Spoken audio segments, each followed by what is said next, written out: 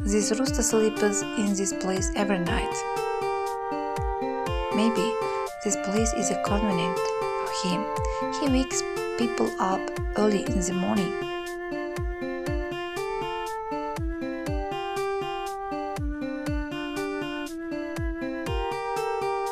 A person who hears the sound of a rooster in the early morning wakes up in a good mood. Everyone likes the sound of a rooster.